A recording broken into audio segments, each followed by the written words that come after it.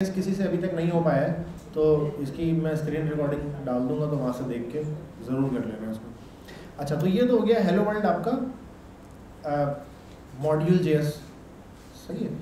Hello world इसमें लिख भी देता हूँ मैं मॉड्यूल जेएस अब हम अगला जो काम करने लगे ना टू जो है पहले फोल्डर बना दिया था। Hello world server hello world क्या बना दिया हमने? सर्वर। अच्छा जावा स्क्रिप्ट में जो सर्वर बनेगा, वो एक नॉट जे पे ही चलेगा। ज़ाहिर है, ब्राउज़र में तो नहीं चलेगा वो। ठीक है तो जल्दी से अब क्या करते हैं, हम हेलो वर्ल्ड का सर्वर बनाते हैं। तरीका बिल्कुल वही है। मैंने क्या करना है, इस फोल्डर में चले जाना है। मैंने कहा सी डी टू और हेलो वर्ल्ड सर्वर। अब देखो मैं किसमें आ गया हूँ। मैं इस वक्त हेलो वर्ल्ड सर्वर वाले फोल्डर में आ चुका हूँ। हेलो वर्ल्ड सर्वर वाला फोल्डर इस वक्त खाली है। एम इनिट ये हर प्रोजेक्ट में पहली दफ़ा ये चलेगा एम इनिट सवाल पूछा मुझसे इसने, मैं एंटर एंटर प्रेस करता जा रहा हूँ। आप चाहें तो इसका आंसर भी कर सकते हैं, लेकिन फ़िलहाल मैं टाइम बचाने के लिए उसको डिफ़ॉल्ट पे कर रहा हूँ। ये पैकेज डॉट जेसन की फ़ाइल क्या हो गई? बन के आ गई। अच्छा इसके बाद मैंने क्या करना है? मैंने एक फ़ाइल बना देनी है। Server dot M J S ठीक है? और इस फ़ाइल को रन करने के लिए यहाँ पे स्टार्ट की जो स्क्रिप्ट है, वो भी मैं जल्दी से लिख देता हूँ। स्टार्ट और क्या था? नॉट स्पेस और server dot M J S अच्छा ये जो server dot M J S रखा है ना मैंने फ़ाइल का नाम, आप कोई दूसरा नाम भी रख सकते हैं, लेकिन फिर यहाँ पे भी वही आपको बता बतानी पड़ेगी बात, ठीक है? जैसे यहाँ पे मैंने app dot M G S रखा था तो मैं रन करते हुए app dot M G S बता रहा था, ठीक है? तो इसी तरीके से अब मैंने क्या रखा है आपकी बार इसको सर्वर डॉट एम रखा है, जो कि फ़ाइल इस वक्त खाली है। तो मैंने उसको रन करने के लिए यहाँ पे वही वाली बात बता दी। ठीक है? अच्छा तो ये तो हो गया। अच्छा इसके अंदर आके मैं कॉन्सोल भी लगा देता हूँ। कॉन्सोल डॉट लॉग ठीक है?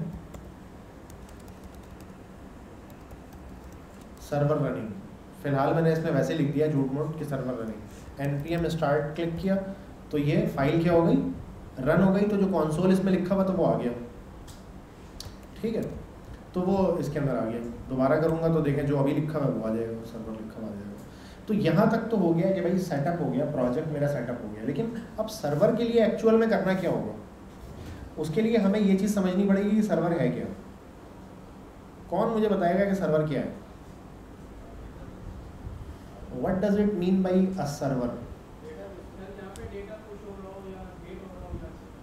data जहाँ पे पुश हो रहा हो या ऐसा गेट हो रहा हो। क्लाइंट से रिक्वेस्ट ले रहा हूँ और उसको रिस्पॉन्स कर रहा हूँ।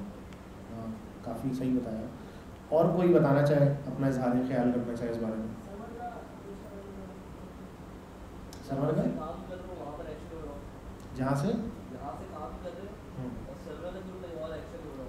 यहाँ से काम कर रहे हैं और सर्वर पे एक्शन हो रहा हो। नहीं, लेकिन वो सर्वर है क्या? यही तो सवाल है।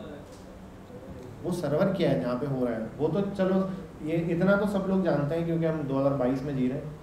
कि जब भी फेसबुक डॉट कॉम पर आप कोई बटन क्लिक करते हैं तो वो सर्वर पे कुछ होता है जाके उसके अगेंस्ट और इसी वजह से वो सब लोगों को नज़र आ जाता है। लिक लाइक कर दिया आपने तो। लेकिन वो सर्वर इट क्या है? क्या वो कोई मतलब पॉपकॉर्न बनाने की मशीन के जैसा कुछ है? वो एक कंप्यूटर है।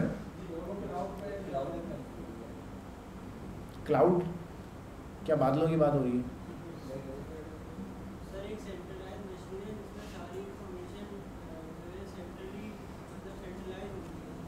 सही। हाँ हाँ बहुत अच्छा बताया आपने कि एक सेंट्रलाइज मशीन है जो कि सारे कंप्यूटर से कनेक्टेड है। तो जो भी रिक्वेस्ट भेजेगा उसको उसका वो डेटा सेव कर लेती है अपने पास पर दूसरे लोगों को दिखा भी देती है। तो हमने क्या देखा कि सर्वर जो है वो एक कंप्यूटर है असल में ठीक है? लेकिन मैं आज आपको बताना चाहूँगा कि सर्वर कंप्यूटर नहीं है। सही है। ये आम तासुर पाया जाता है कि सर्वर जो है वो एक कंप्यूटर है जो इंटरनेट से कनेक्टेड है और कहीं दूसरी जगह रखा हुआ है। मेरे घर पे भी हो सकता है और कहीं और भी हो सकता है। और चूँकि वो इंटरनेट से कनेक्टेड है तो हम कहते हैं वो क्लाउड में ठीक है? असलान कहते हैं कि यार कंप्यूटर इंटरनेट से कनेक्ट है तो क्लाउड है। तो वैसे तो असल में वो बादलों में नहीं है, वो तो कहीं ज़मीन पे ही रखा हुआ है किसी जगह। इंटरनेट से, लेकिन वो कनेक्टेड है। तो ओवर द इंटरनेट एक्सेसिबल है तो इसको क्लाउड बोल सकते हैं। ठीक है तो हम एक काम करते हैं। थोड़ा सा यहाँ पे ड्राइंग ऐप खोल लेता हूँ मैं थोड़ी देर के लिए। और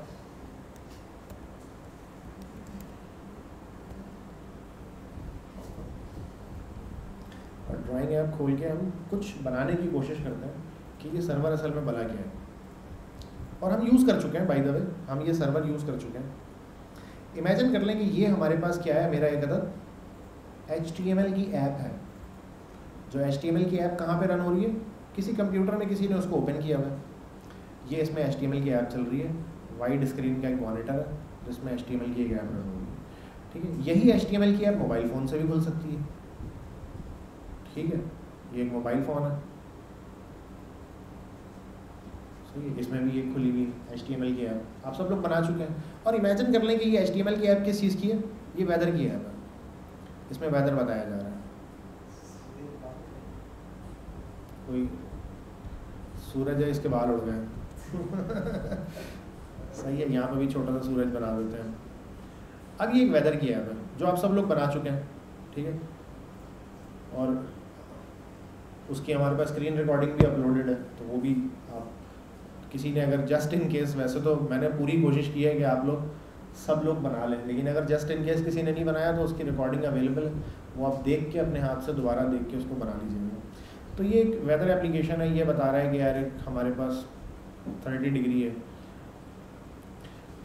तो जब ये वेदर ऐप आपने बनाई थी तो हमने एक ए पी आई कॉल की थी। सही है? और वो जो सर्वर की ए है, ज़ाहिर है। ए पी आई क्या चीज़ होती है?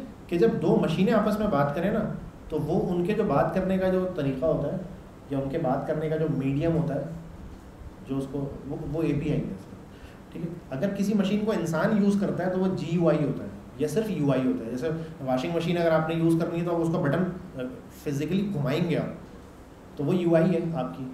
लेकिन वही चीज़ अगर कंप्यूटर पे आप ऐसे घुमा रहे हैं सॉफ्टवेयर के या माउस के ज़रिए आप वॉल्यूम का ऐसे घुमा रहे हैं उसको, या बटन माउस के ज़रिए तो वो जी यू आई है यू आई लेकिन ग्राफिकल फॉर्म है। असली यू आई नहीं है वो वो ग्राफिकल फॉर्म है। अच्छा इसी तरह होता है ए पी आई एप्लीकेशन का इंटरफेस कि अगर एक मशीन दूसरे मशीन से बात करेगी ना तो वो ए पी आई के ज़रिए बात करेगी। अब हमने जो किया था वो, जो वेदर ऐप का जो ए पी आई हमने कॉल की थी, वो H T T P A P I वो ग्राफिकल एक तो ग्राफिकल होता है ना क्लिक क्लिक वो एच थी, यानी ओवर द इंटरनेट वो तारों के ज़रिए ट्रैवल करके जाएगा और फिर वापस आएगा। तो हमने क्या किया था ओपन वेदर एपीआई को कॉल किया था, कुछ डेटा दे के भेजा था कि सिटी का नाम, और उस सिटी के नाम का वेदर इसने हमें वापस भेज दिया था। ये था एक सर्वर जिसको हमने रिक्वेस्ट की थी। ऐसा ही सर्वर आज हम थोड़ी देर में खुद अपना बनाने वाले हैं, तैयार करने वाले हैं। इसी तरीके से अगर यही कोई मोबाइल ऐप होती तो वहाँ से भी उसको कॉल किया, जा सकता था। और वहाँ पे भी ये क्या करता, उसको रिस्पॉन्ड करता विद जेसन डेटा एपीआई ये ये एपीआई है ये जो कॉल हो रही है ना, असल में क्या होता है कि जब भी हम कोई सॉफ्टवेयर बनाते हैं, जब भी हम कोई सॉफ्टवेयर बनाते हैं तो उससे यूज़र इनपुट लेते हैं ना, और आउटपुट दिखाते हैं उसको। जावा स्क्रिप्ट की ऐप हमने बनाई थी तो हमने यूज़र से इनपुट लिया था और यूज़र को आउटपुट दिखाया था।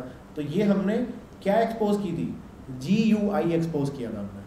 ग्राफिकल यूज़र इंटरफेस एक्सपोज किया था कि जो आने वाला यूज़र है वो इस जी यू आई को इस्तेमाल करते हुए हमें इनपुट अपना दे सकें। इसी तरीके से हम जब कोई सॉफ्टवेयर बनाते हैं तो उसमें हम ए पी आई भी एक्सपोज कर सकते हैं। जी यू आई के साथ साथ ए पी आई भी एक्सपोज कर सकते हैं। उस ए पी आई से कोई दूसरी मशीन उससे बात करती है। ह्यूमंस के लिए नहीं होता ए पी आई ए पी आई दूसरी मशीनों के लिए होता है। जैसे इस पीछे आपके एसी रखा हुआ है, इसमें जो यूआई है, वो ऑन ऑफ़ का बटन है ना बटन फिजिकली हाथ से दबाऊँगा तो ऑफ़ हो जाएगा। ठीक है?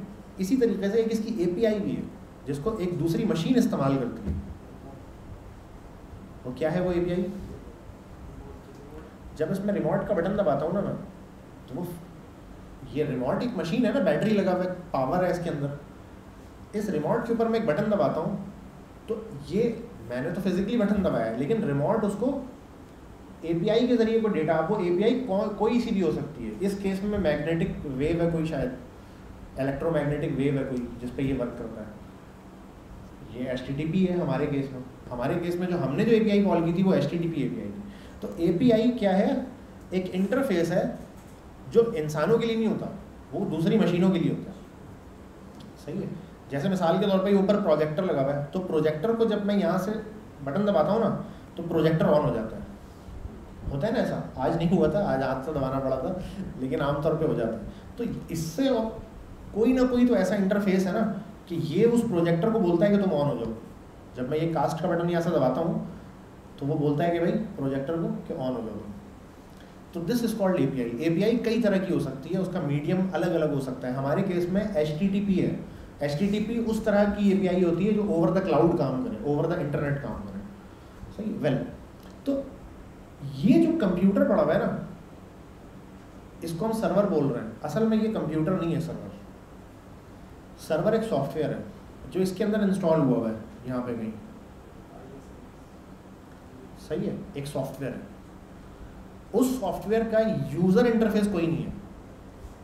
उस सॉफ्टवेयर की एपीआई है। इस सॉफ्टवेयर को कौन इस्तेमाल कर सकता है? एक दूसरी मशीन इस्तेमाल कर सकती है, कोई ह्यूमन इसको डायरेक्ट इस्तेमाल नहीं कर सकता। मतलब कर सकता है, हमारे जैसा कोई टेक्निकल बंदा हो तो लेकिन आम लोगों के लिए नहीं बना होता ठीक है? तो ये एक मशीन है, एक जावा स्क्रिप्ट की ऐप है, जो ब्राउज़र पे ओपन हुई हुई है। ये ऐप उसको कॉल करती है, या उसको इस्तेमाल करती है उस सॉफ्टवेयर को। कैसे करती है? ओवर द इंटरनेट अगर इंटरनेट डिस्कनेक्ट हो जाए तो ये काम करना छोड़ देगी। ऐसा ही है, जो हम अभी तक बना चुके हैं, उसमें तो ऐसा ही था। तो एक रिक्वेस्ट यहाँ से जाती है, इस सॉफ्टवेयर के पास रिक्वेस्ट जाती है, इस सॉफ्टवेयर के पास। सही है? तो सर्वर जो है, वो हार्डवेयर को नहीं बोलते सर्वर बोलते हैं सॉफ्टवेयर को। सर्वर एक एप्लीकेशन होता है, एक सॉफ्टवेयर होता है, एक प्रोग्राम होता है, जो किसी भी लैंग्वेज में हो सकता है। हमारे केस में वो जावा स्क्रिप्ट में होगा नॉट जेस और उसके लिए हम फ्रेमवर्क एक्सप्रेस जेस का इस्तेमाल करेंगे।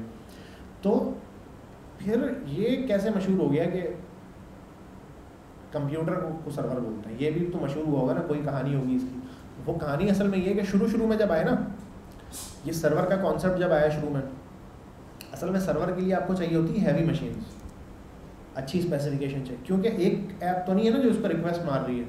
ओपन वेदर का जो सर्वर है, उस पर कितने हज़ारों लोग रिक्वेस्ट कर रहे होंगे। तो इतनी सारी रिक्वेस्ट को हैंडल करने के लिए, क्योंकि हर रिक्वेस्ट रैम मेमोरी में जगह लेती है। जब एक रिक्वेस्ट इसमें पहुँचेगी, यहाँ पे सॉफ्टवेयर के पास पहुँचेगी तो ज़ाहिर है वो जो, वो रिक्वेस्ट है, उसमें बहुत सारा डेटा आया होगा। फिर उसने कुछ पूछा होगा, वो डेटा बेस से निकाल के उसको वापस भेजना है। तो ज़ाहिर इसमें प्रोसेसिंग पावर और रैम मेमोरी यूटिलाइज होगी। तो अगर आपके पास रैम होगी चार छः जी तो वो तो काम ही नहीं करेगा फिर तो रैम आपको चाहिए होती है सौ, डेढ़ सौ जी यानी जितना बड़ा लेवल का स्केल है, उतने बड़े स्पेसिफिकेशन अगर आपने कोई घर पे, जैसे ओपन वेदर है ऐसा कोई आपने खुद ने बनाया हुआ है, लेकिन उसकी आपने कोई इतनी मार्केटिंग नहीं की, इतने लोगों को उसके बारे में पता नहीं है। तो ज़ाहिर उसमें रिक्वेस्ट कम आएगी तो उसमें शायद आपको छः आठ जी वाला छः आठ जी रैम और आई सेवन प्रोसेसर शायद चलता रहे, चल जाए मे भी या कोई फेसबुक के लेवल का कोई सर्वर हो, कि दुनिया में दो बिलियन यूज़र क्लेम करते हैं कि हमारे पास मौजूद है। तो इन्होंने पूरा डेटा सेंटर बनाया हुआ है, पूरा आइलैंड है उनका, उसके ऊपर डेटा सेंटर बनाया हुआ है। तो इतना बड़ा सर्वर बहुत सारी मशीनों को जोड़ के एक कलेक्टिवली एक बड़ा कंप्यूटर बना के और उसके ज़रिए हैंडल करते हैं उसको ठीक है तो डिपेंड करता है कि आपके कितनी ज़्यादा लोग उस सॉफ्टवेयर को इस्तेमाल कर रहे हैं तो उसी के हिसाब से उसमें फिर स्पेसिफिकेशन होती है। तो जब ये शुरू शुरू आए थे ना सर्वर जब आए शुरू शुरू कि यार अच्छा आप सर्वर अपना बना सकते हैं, फिर उसको ओवर द इंटरनेट एक्सेस कर सकते हैं तो वो फिर उसके लिए मशीनें, ज़ाहिर है, बड़ी मशीनें रिक्वायर्ड थी। तो उस वक्त के जो कंप्यूटर मैनुफैक्चरर्स थे, जैसे कि आई और एचपी वगैरह, उन्होंने बोला कि भाई, ये जो हमने बनाई है ना मशीन ये सर्वर के लिए बनाई है। सर्वर का जो सॉफ्टवेयर वो इसमें चल सकता है। इसमें इतनी ताकत है, इतना दम है इस मशीन के अंदर, इसमें सर्वर चल सकता है। तो फिर सबने ही आहिस्ता आहिस्ता लिखना शुरू कर दिया कि यार, ये सर्वर वाली मशीन है सर्वर वाली मशीन तो वो आहिस्ता आहिस्ता करके अब क्या होता है, हम आप जब जाते हैं दुकान में तो आप कहते हैं, यार, मुझे अच्छा वाला कंप्यूटर चाहिए। तो कह रहे सर्वर वो ले लो सर्वर ले लो। ये जो नीचे ये लगे हुए हैं जेड एच पी का जो जी सीरीज़ है ये, पता नहीं G six hundred eight hundred है कौन सा। तो ये भी सर्वर सीरीज़ है। वर्क स्टेशन है। हाँ बस वही वर्क स्टेशन सर्वर इसी तरह करके मशहूर किया हुआ तो वो इस तरह से ये मशहूर हो गई बात। और अब शायद आप किसी से बोलें तो वो ऐसा बोलने में लगता है कि यार, जो मशीन है कंप्यूटर एक कंप्यूटर है, उसको शायद सर्वर कह रहे हैं। हालाँकि वो कंप्यूटर सर्वर नहीं है। सर्वर उसके अंदर चलता हुआ जो एक सॉफ्टवेयर है, उसको कहते हैं सर्वर ठीक है? हमारे केस में हमारी ये server dot M J S की फ़ाइल है ये। This file is a server और सर्वर के नाम पे भी अब अगर आप गौर करें ना what does it mean by server अंग्रेज़ी में सर्वर किस चीज़ को कहते हैं? जो सर्व करता हो। ठीक है? एक होता है होस्ट एक होता है गेस्ट जब आप किसी के घर जाते हैं तो आप गेस्ट होते हैं। वो आपका होस्ट होता है। आप उसको बोलते हैं, मुझे पानी पिलाओ। आपने क्या उससे एक सवाल किया ना? तो वो आपको सामने से आपकी रिक्वेस्ट को फुलफिल करता है, आपकी रिक्वेस्ट को सर्व करता है। वो आपसे पूछता है कि हाँ यार, कोई और खिदमत करूँ आपकी मैं? तो वो जो आप बोलते हैं, वो करता है। तो वो सर्वर हुआ ना फिर, जो आपकी हर बात को पे अमल कर रहा है। आप कुछ मांगते हैं, उससे वो आपको देता है। आप कुछ बात पूछते हैं, वो जवाब देता है सामने से। तो ये जो प्रोसेस है ना हमारा, ये सवाल जवाब का, असल में सर्वर का मतलब तो ये है कि आपकी रिक्वेस्ट को सामने से सर्व करें। इसको कहते हैं सर्वर तो वो सॉफ्टवेयर कर रहा है यहाँ पर। अच्छा लेकिन अगर ले मैन है ना कोई तो उसके लिए तो यानी अगर ये कंप्यूटर है, इसके अंदर कोई सॉफ्टवेयर चल रहा है तो वो कलेक्टिवली ये हार्डवेयर और सॉफ्टवेयर मिला के कंप्यूटर समझते हैं ले मैन तो उस हिसाब से अगर किसी, इस कंप्यूटर को भी सर्वर बोला जाए तो कोई ऐसा भी गलत नहीं है। कोई ऐसा भी गलत नहीं है। एक ले मैन के लिए हार्डवेयर और सॉफ्टवेयर जो इसमें विंडोज़ इंस्टॉल है, वो अलग तो नहीं है ना। एक ले मैन समझता है कि कंप्यूटर में विंडो इंस्टॉल होगा तो ये कंप्यूटर बनेगा। उसके बगैर ये कंप्यूटर है ही नहीं। तो एक ले मैन के हिसाब से अगर वो बोलता है कि कंप्यूटर जो है वो सर्वर है तो वो कोई गलत भी नहीं है। लेकिन हम क्योंकि टेक्निकल लोग हैं तो हमें एग्जैक्टली पता होना चाहिए कि सर्वर एक सॉफ्टवेयर है। आज इस मशीन में चल रहा है, कल को किसी और मशीन में भी चल सकता है।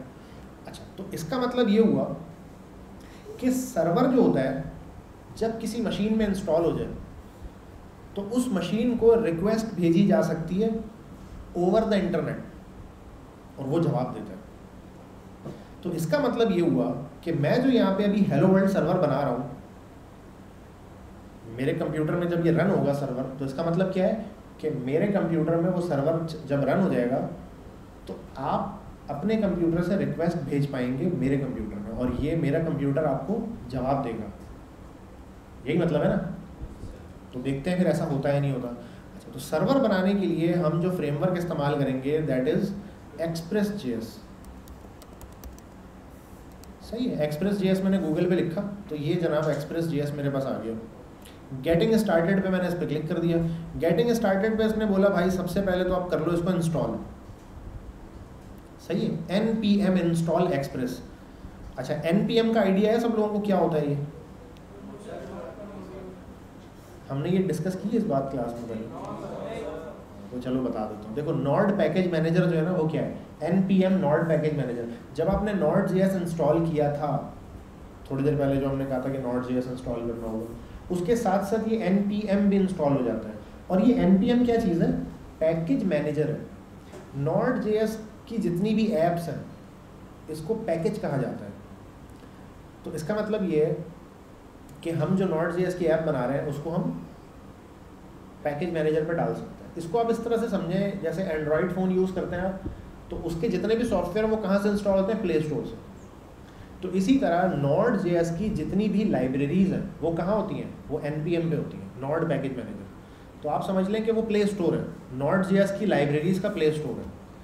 अच्छा ऐसा ज़रूरी नहीं है कि हर लाइब्रेरी को मैं वहीं से इंस्टॉल करूँ। ऐसा ज़रूरी भी नहीं मतलब ऐसा कोई लिमिटेशन जैसे एंड्रॉयड फ़ोन में ज़रूरी नहीं है कि आप प्ले स्टोर से ही सॉफ्टवेयर इंस्टॉल करें। अब अलग से ए फ़ाइल है तो वो भी चल जाती है। चलाई किसी ने? अलग से a file A P K mirror वगैरह से और वो पायरेटेड दूसरी साइट से वहाँ से हम क्या करते हैं? A P K file download कर लेते हैं डबल क्लिक करते हैं इंस्टॉल हो जाता है। तो इसमें भी हम अलग से कर सकते हैं। ऐसा नहीं है कि एन पी एम नहीं होगा तो हमारा अलग से कर सकते हैं, लेकिन जो जितने भी मेजर लाइब्रेरीज़ हैं हमारी, उनको समझ है, वो अक्लमंद है तो उन्होंने क्या किया हुआ है? उसको एन पी एम पे पब्लिश किया हुआ है। जैसे कि फेसबुक है व्हाट्सएप है यूट्यूब है, ये सारी ऐप्स प्ले स्टोर पर पब्लिश हैं।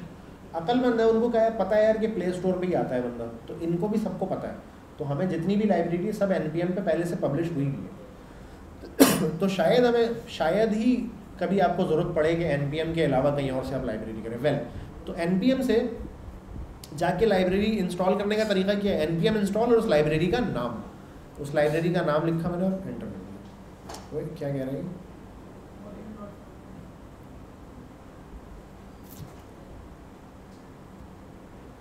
हाँ नहीं, मैंने वो कुछ और लिख दिया। N P M I express ठीक है? अच्छा आई भी लिख सकते हैं इंस्टॉल पूरा भी लिख सकते हैं। एक ही बात है। जैसे ही मैंने N P M I express किया तो आप देखें, यहाँ पे ना कुछ एक्स्ट्रा फाइलें बनकर आ गई हैं, जिसमें से नॉड मॉड्यूल के नाम से एक फ़ोल्डर बन के आ गया ये नॉड मॉड्यूल का जो फोल्डर है ना, इसमें वो लाइब्रेरी क्या हो गई है? आके इंस्टॉल हो गई है। आके क्या हो गई है? इंस्टॉल हो गई है।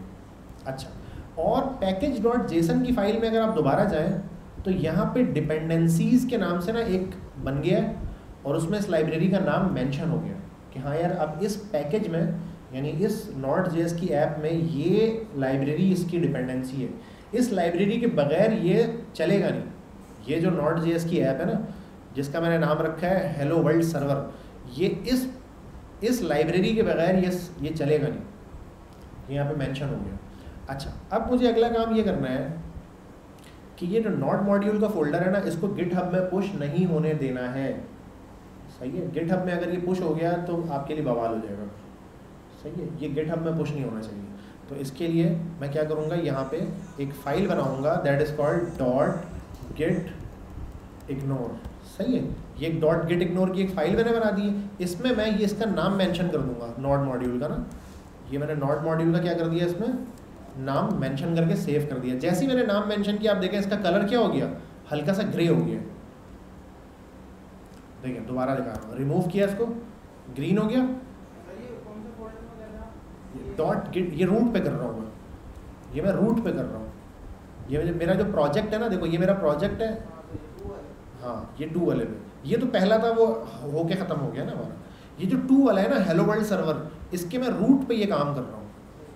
सबसे पहले मैंने क्या किया था? एन पी एम इनिट किया था, जिससे पैकेज डॉट जेसन बना था। सही है? उसके बाद मैंने क्या बनाया? Server dot M G S बनाया।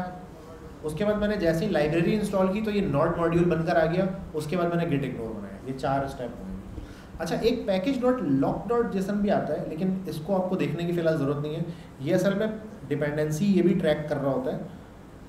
यहाँ एक लाइन में लिखा हुआ है ना, यहाँ वही बात सत्रह लाइन में लिखी हुई है, ठीक है? तो लॉक वाले को आपको ना छेड़ने की ज़रूरत नहीं है। असल में लॉक कर रहा ये होता है कि ज़ाहिर लाइब्रेरी का वर्जन होता है ना। जैसे यहाँ पे लाइब्रेरी का क्या है वर्जन है 4.18 लिखा हुआ है। तो वो लॉक डॉट जेसन क्या करता है? डिपेंडेंसीज को लॉक कर देता है। क्योंकि समटाइम चार पाँच छः लाइब्रेरी एक ही ऐप में इंस्टॉल हुई हुई होती है तो आपस में उनके कंपैटिबिलिटी के इश्यूज़ भी रहते हैं। तो ये लॉक उसको देख रहा होता है तो वो खुद ही संभालता है हमें कुछ करने की ज़रूरत नहीं होती। ठीक है तो यहाँ तक सबको समझ में आ रहा है क्या हुआ ये? एक लाइब्रेरी मैंने इंस्टॉल कर दी है। और आ, अब बारी आई है कि मैं उस लाइब्रेरी का कोड में इस्तेमाल करूँ। लाइब्रेरी तो इंस्टॉल हो गई है, लेकिन उसका मैं कोड में इस्तेमाल करूँ। तो मैं वापस यहाँ आऊँगा और ये एक्सप्रेस की, का जो गेटिंग स्टार्टेड का सेक्शन है, यहाँ पे मैं क्या जाऊँगा? यहाँ पे नेक्स्ट पे क्लिक करूँगा। तो इन्होंने कुछ कोड एग्ज़ाम्पल यहाँ पे मेरे लिए लिख कर रखा हुआ है। तो इस कोड एग्ज़ाम्पल को मैं क्या कर लेता हूँ? कॉपी कर लेता हूँ। सही है? इस कोड एग्ज़ाम्पल को मैंने कॉपी कर लिया और ला के मैंने यहाँ पर पेस्ट कर दिया। ये कहाँ पे पेस्ट किया मैंने? Server dot M J S की फ़ाइल में इसको मैंने पेस्ट किया। ठीक है? अच्छा। जैसे ही मैंने इसको यहाँ पे पेस्ट किया तो इसमें ना मुझे एक एरर देना चाहिए था, लेकिन ये दे रहा नहीं है। ये जो लिखा हुआ है ना सिंटेक्स ये है पुराना सिंटेक्स ठीक है? ये कॉमन जेएस वाला सिंटेक्स है। ये अगर मैं ऐसे रन करूँगा ना, ये मुझे एरर देगा।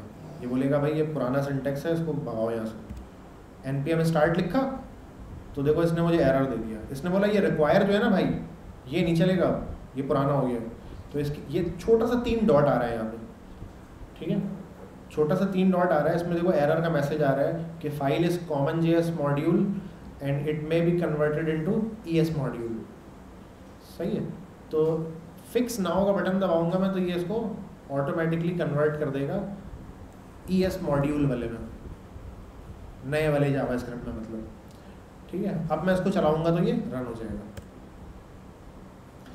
अच्छा। फ़ाइल तो रन हो गई है, लेकिन ज़रा समझ लेते हैं इस फ़ाइल में लिखा हुआ क्या है। इस फ़ाइल में ये लिखा हुआ है सबसे पहले कि इम्पोर्ट करो एक लाइब्रेरी को जो मेरे पास इंस्टॉल है नॉट मॉड्यूल में, ठीक है? इम्पोर्ट हो गया ये इस नाम से। उसके बाद मैंने कहा कि ऐप और ये जो लाइब्रेरी मैंने इंपोर्ट की थी, इसको इनिशियलाइज किया। एक्सप्रेस और कॉल सिग्नेचर लगा दिया। अब इसको कॉल करने से मुझे क्या मिल गया? एक ऐप मिल गई है। उस ऐप के ऊपर लिखा हुआ है डॉट गेट स्लैश अगर स्लैश की रिक्वेस्ट आए तो रिस्पॉन्स में बोलो हेलो वर्ल्ड ठीक है? मैं इसको कह देता हूँ कि यार स्लैश वाटर और स्लैश फ़ूड आप जब किसी के घर जाते हैं तो यही बोलते हैं ना। तो आप अगर मांगे स्लैश वाटर तो आपको ये क्या जवाब दे? Here is some water for you सही है। और जब स्लैश फ़ूड आप मांगे तो ये बोले here is some food for you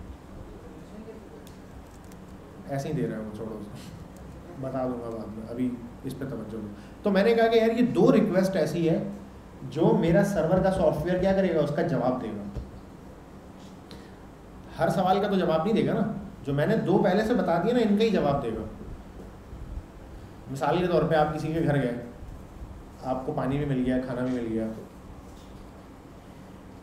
अब आपने कहा कि यार वो ज़रा जेवरात तो निकालें, आप शादी में जो मिले। तो इसका जवाब है four zero four not found सही है।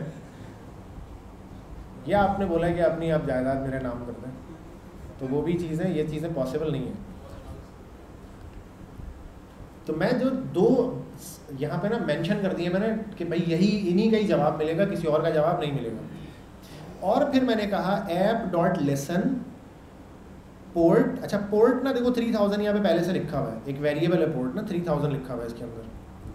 कि इस ऐप को चला दिया जाए किस पे? पोर्ट नंबर थ्री थाउज़ेंड पे। ये जो सर्वर की ऐप है ना मेरी, इसको रन कर दिया जाए। चला दिया जाए लिसन करना शुरू कर लिसन का मतलब है कि आने वाली रिक्वेस्ट के लिए लिसन करना शुरू कर दी। ठीक है? तो ज़ाहिर है, जब लिसन कर रहा होगा ये, तभी आने वाली रिक्वेस्टों का फिर लिसन करके जवाब दे पाएगा। और लिसन कहाँ पे किया? पोर्ट के ऊपर। What does it mean by port port किस चीज़ को कहते हैं अंग्रेज़ी में? प्रोग्रामिंग में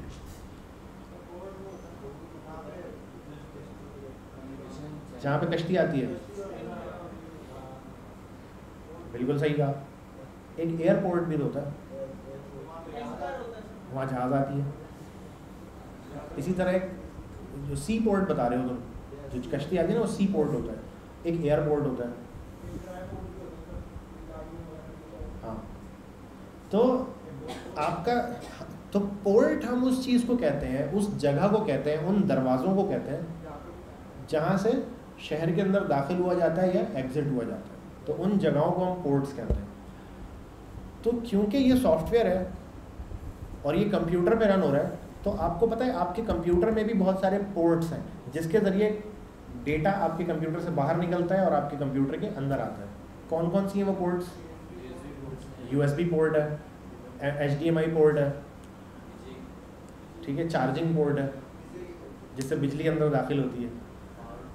तो इस तरह बहुत सारे पोर्ट्स हैं, हमने ये देखा। आर जे फोर्टी फाइव का भी एक पोर्ट होता है इंटरनेट की तार लग जाती है। ये फ़िज़िकल पोर्ट्स हो गए। कंप्यूटर के अंदर वर्चुअल पोर्ट्स भी बहुत सारे होते हैं, जैसे वाईफाई वाईफाई भी तो पोर्ट है। ठीक है? तो इसी तरीके से जब आप इंटरनेट की कम्युनिकेशन होती है ना तो उसके पोर्ट नंबर्स होते हैं बहुत सारे। तो ये समझ लें कि वही पोर्ट है। आपके कंप्यूटर में वन थाउज़ेंड से लेके और पता नहीं नाइन थाउज़ेंड तक कुछ रेंज होती है।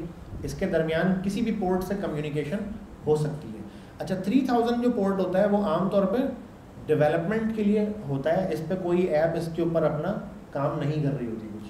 ठीक है तो इसलिए हम थ्री थाउज़ेंड पे रन कर रहे हैं क्योंकि मेरे कंप्यूटर में मुझे पता है कि ये थ्री थाउज़ेंड अवेलेबल है। क्योंकि थ्री थाउज़ेंड को डेवलपमेंट के लिए रखा गया है इसके ऊपर जैसे स्काइप वगैरह कोई ऐसी चीज़ जो इंटरनेट से चलती है जो वो थ्री थाउज़ेंड को इस्तेमाल नहीं करती इसको खाली छोड़ा जाता ठीक है इसी दिन के लिए कि मैं डेवलपमेंट करूँगा और मैं इसको रन करूँगा यहाँ पर ठीक है? तो आ, मैंने क्या किया भाई कि थ्री थाउज़ेंड पे मैंने उसको बोला कि app dot listen three thousand और साथ में एक फ़ंक्शन दे दिया, ये फ़ंक्शन कब चलेगा? ये फ़ंक्शन जब ये प्रॉपरली लिसनिंग शुरू कर देगा ना, फिर ये फ़ंक्शन चल जाएगा। इसमें क्या लिखा हुआ example app is listening on port फला फला ठीक है? अच्छा तो इसका मतलब क्या है कि जब इसको मैं ऐप को रन कर दूँगा तो आप सब लोग जो बैठे हुए हैं, आप सब लोग अपने अपने कंप्यूटर से यहाँ रिक्वेस्ट भेजेंगे। अच्छा रिक्वेस्ट कैसे भेजेंगे? मेरे कंप्यूटर की एपीआई के ज़रिए अब आईपी के ज़रिए। क्योंकि यूआरएल तो नहीं है ना मेरे पास अभी आईपी है। यू और आईपी एक ही चीज़ होती है असल में, आपको शायद पता होगा। जैसे हम गूगल डॉट कॉम लिखते हैं तो गूगल डॉट कॉम के अगेंस्ट एक आई पी होती है असल में। तो जब हम गूगल डॉट कॉम लिखते हैं ना तो एक फ़ोन बुक होता है डी एन एस कहते हैं जिसको। तो आपकी रिक्वेस्ट पहले फ़ोन बुक में जाती है, वहाँ से देखती है कि यार गूगल डॉट कॉम के आई पी क्या है। वो भी फिक्स है, वो चेंज नहीं होती। आपको अगर आई पी याद है तो आप डायरेक्ट आई पी लिख दें। सही है। फेसबुक डॉट कॉम के पीछे भी एक आई पी है। तो अगर आपको फेसबुक डॉट कॉम की आई पी याद है तो आप डायरेक्ट आई पी भी लिख सकते हैं। इट डजेंट मैटर कि आप वो फेसबुक डॉट कॉम ही लिखेंगे तो वहाँ पे पहुँचेंगे आप। तो वो असल में आप फेसबुक डॉट कॉम लिखते हैं तो वो जाता है उस फ़ोन बुक में। फ़ोन डायरेक्ट टेलीफोन डायरेक्टरी की तरह की एक चीज़ है। तो वहाँ पर जाके वहाँ से वो निकालता है आईपी उसकी, और फिर आपकी कहानी आगे शुरू होती है। ठीक है तो लेकिन मेरा जो, मेरा कंप्यूटर है इस वक्त, वो उस फ़ोन बुक में रजिस्टर्ड नहीं है। तो आईपी मैं आपको बता दूँगा। आईपी असल में इसलिए ख़त्म हुई है, उसको याद रखना बड़ा मुश्किल होता है इसलिए वो फ़ोन बुक के जैसी एक चीज़ इन्होंने ईजाद कर दी है तो उससे काम होता है इसको। ठीक है? अच्छा तो मेरे पास जब रिक्वेस्ट आएगी ना, मेरे पास जब रिक्वेस्ट आएगी तो मैं यहाँ पे कॉन्सोल लगा देता हूँ, ताकि मुझे पता चले कॉन्सोल डॉट लॉग और मैंने कहा कि someone is asking for water बल्कि सम वन क्यों? इसमें वो लगाता हूँ ना मैं। रिक्वेस्ट में मुझे आईपी भी तो मिलेगी, तुम्हारी आईपी भी मिलेगी। जो भेज रहा होगा ना रिक्वेस्ट तो उसकी भी आईपी मिलती है। तो मैंने रिक्वेस्ट डॉट आईपी हाँ request dot IP is asking for water मैंने कहा, भाई, फला क्योंकि आपकी आइडेंटिफिकेशन जो है, वो तो असल में आईपी है आपकी। तो जब आप मुझसे बात कर रहे होंगे तो आपका नाम नहीं आएगा, आपकी कंप्यूटर की आईपी इधर आएगी मेरे पास। मैंने कहा आस्किंग फॉर वाटर और मैं नीचे यहाँ पे लिख देता हूँ वही वाली बात कि someone is asking for food ठीक है? और इसको मैंने पहले रन कर दिया था ना तो अब मैंने चेंजेस किए हैं तो इसको मुझे कंट्रोल सी प्रेस करके रोकना होगा। कंट्रोल सी में दो बार प्रेस करूँगा तो स्टॉप हो जाएगा और स्टॉप करके इसको मुझे दोबारा रन करना होगा। अगर मैं स्टॉप करके रन नहीं करूँगा ना तो ये लेटेस्ट मैंने चेंजेस किए वो रिफ्लेक्ट नहीं होंगी। अच्छा तो अब मेरे पास ये ऐप क्या हो चुकी है? रन हो चुकी है मेरे पोर्ट नंबर थ्री थाउज़ेंड में। तो मैं आपको अपनी आईपी बताता हूँ। अब आप सब लोग क्या करेंगे? रिक्वेस्ट करेंगे मेरे पास। ठीक है? अच्छा और वो मेरी जो आईपी है, इस वक्त वो ये है।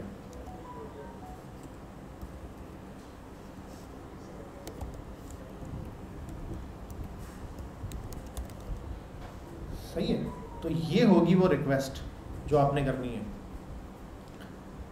नज़र आ रही है ये वाली आईपी सब लोगों को? अच्छा इसको मैं उधर डाल देता हूँ एयर डॉट सिस बॉर्ड पर। सही है। ये क्या भेज रहे हो भाई तुम इधर? पहले गाय बिठा दी, अभी ये बिठा दिया। ऐसी सेक्रेट किस्म की चीज़ें नहीं बिठाओ इधर।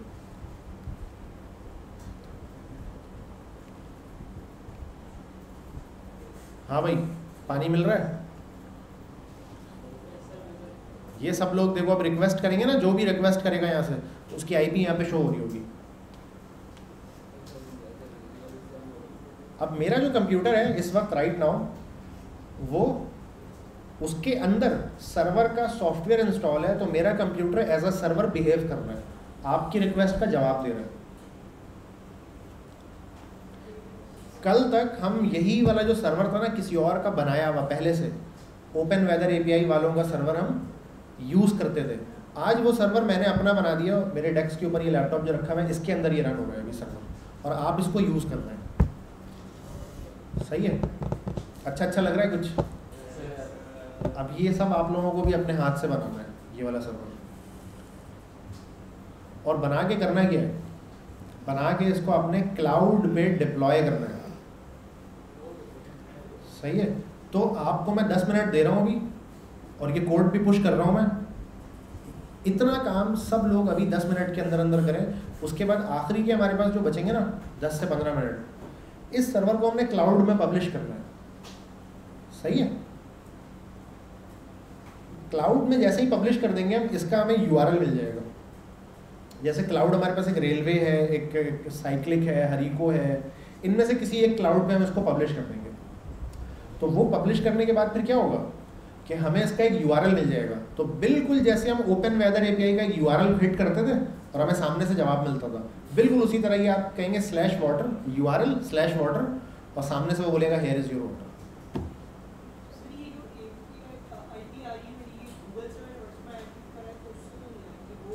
नहीं नहीं ये आईपी तो मैं यूआरएल की देखो मैं बता रहा हूँ कैसे होगा अच्छा ये वाली जो है ये तुम्हारी वो है लोकल लोकल आईपी है। हाँ तुम्हारे इस इस नेटवर्क की जो लोकल आईपी है ना, वो ये। अच्छा भाई मैं एक और भी बात बता दूँ मैं। इस मेरे सर्वर को वही एक्सेस कर सकता है जो इस नेटवर्क पे मौजूद है, इस बिल्डिंग के अंदर मौजूद है। इस बिल्डिंग के बाहर अगर किसी ने 4G का पैकेज किया हुआ है ना फ़ोन पे अपने या घर पे कोई नॉर्थ कराची में अपने घर पे बैठा हुआ है, वहाँ पे उसने ये ये ये आईपी लिखी तो उसको नहीं मिलेगा। वो सिर्फ़ ये इस लोकल असल में ये बंद किया हुआ होता है। आपके जो इंटरनेट प्रोवाइडर होता है ना, उसने ये बंद किया हुआ होता है कि कोई बाहर से इसको एक्सेस कर सके। फिर दूसरा ये कि ये आईपी चेंज भी होती है। अभी मैं वाईफाई डिस्कनेक्ट करके दोबारा कनेक्ट करूँगा ना, ये आईपी दूसरी मिल जाएगी मुझे। तो असल में ये आपका जो राउटर है ना, इस बिल्डिंग के अंदर जो राउटर लगा हुआ है, उसके अंदर आईपी का एक पूल होता है। दो सौ पचपन का पूल होता है। दो सौ पचपन आई का। तो वो उसमें से मुझे ये आईपी असाइन होती है। आपको भी, आप लोग भी अपना कंप्यूटर रीस्टार्ट करेंगे, आपकी आईपी चेंज हो जाएगी। लोकल आईपी होती है। और एक होती है पब्लिक आईपी आपकी पब्लिक आईपी आप सब लोगों की सेम है। क्यों? कि यहाँ पे एक ही इंटरनेट का कनेक्शन लगा हुआ है। तो पब्लिक आईपी आपकी सबकी सेम है, एक ही है। आप में से कोई भी अगर लिखेगा ना कि व्हाट इज़ माय आईपी तो वो सबसे, दोनों करो चेक करो ये। व्हाट इज़ माय आईपी लिखोगे ना सेम आ रहा होगा। क्योंकि एक ही तो कनेक्शन है इंटरनेट का। लोकल आईपी वो आ रही होती है। टास्क मैनेजर में भी आ रही होती है आईपी कॉन्फ़िग करोगे, उसमें भी आ रही होती है। तो ये जो है ना ऐसे इसको क्या करना है, इसको जाओगे यहाँ पे और यहाँ पे जाके ना ये ऐसे चलाओगे ना तो ये देखो हेयर इज़ यूर वाटर लिखा हुआ सही है? और इसको करोगे स्लैश फ़ूड तो ये फ़ूड आ गया। तो ये ऐसे करके होगा। अच्छा मेरे क्योंकि अपने कंप्यूटर में ये रन हो रहा है तो मुझे ये आईपी लिखने की ज़रूरत नहीं है, मैं लिखूँगा local host local host three thousand ये देख रहे हो? लोकल होस्ट का मतलब होता है कि मेरे कंप्यूटर की जो भी लोकल आईपी है।